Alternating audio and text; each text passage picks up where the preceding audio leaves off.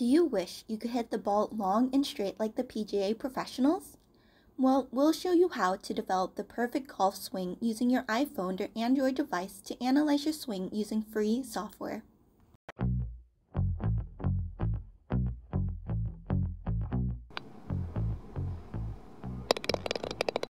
After you videotape your swing, draw a box with the top of the box directly on the forehead and with the side of the box directly on the seat.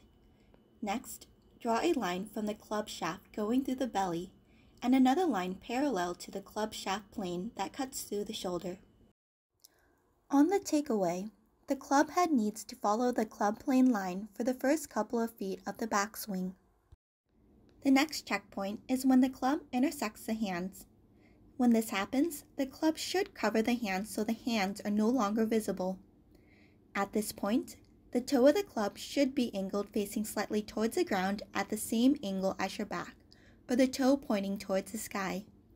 In between these angles is acceptable. When the left arm is parallel to the ground, the left arm should be just inside the toe line. The butt of the club is pointing to the ball.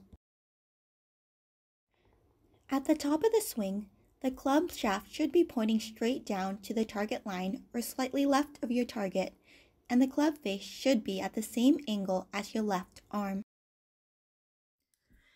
The right forearm should be vertical.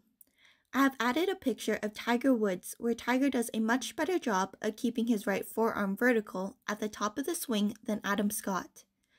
Also, you can see more clearly the club face is parallel to his left arm. With the driver, the elbow position will vary slightly from other clubs. Unfortunately, we did not have a video of Tiger Woods' swing. Another checkpoint at the top of the swing is to make sure the right leg is slightly flexed, and the lower part of the leg or calf is straight up and down, and the foot is flat on the ground with pressure felt on the inside of the right foot. If you draw a line from the hands down to the ground, the line should intersect at the ankles.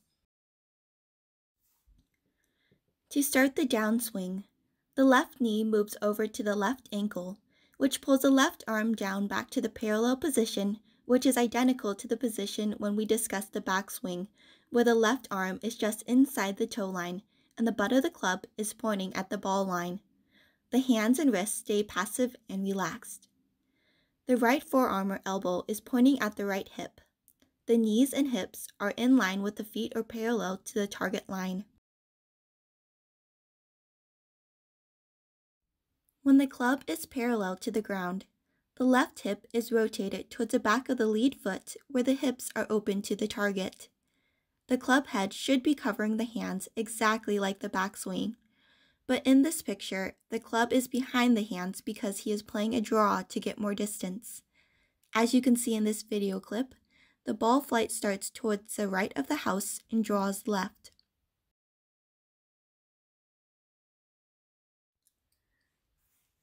Moving towards impact, the trail foot is still facing forward as it was at address, but is rolled to the target. The height of the heel depends on the club. With a wedge, the foot is mostly flat, but with a drive, as in the picture, the heel is higher. At impact, the hands return to the address position. If the swing is reversed back to setup, the arms and hands at address position and impact position should be at the same height. In this instance, the hands are a little high on impact. During the follow-through, when the right arm is parallel to the ground, the right arm and club shaft are pointing straight down the target line. The toe of the club should be pointing straight up towards the sky. As the follow-through continues, the club should exit through the left shoulder, splitting the left upper shoulder muscle in half. The club shaft is on the same plane line as the shoulders.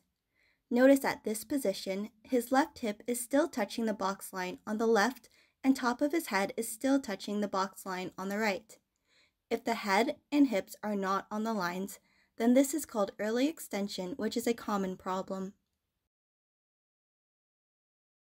At finish, make sure the right foot is on its toe. Belly button is facing the target, the body is stacked on top of the left foot, and the club shaft is parallel to the upper line. If we draw a box around the hips and legs at address, the hips and legs should remain in the box at address, top of the swing, impact, and finish. The software we use to videotape and draw the boxes and lines is called Technique by Hudl.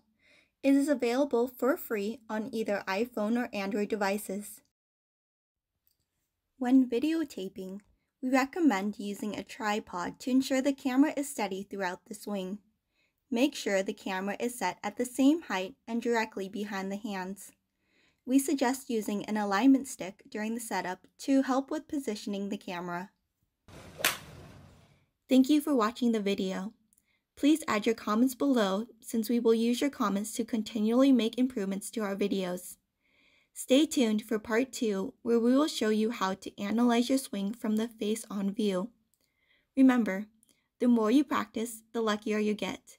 Bye for now.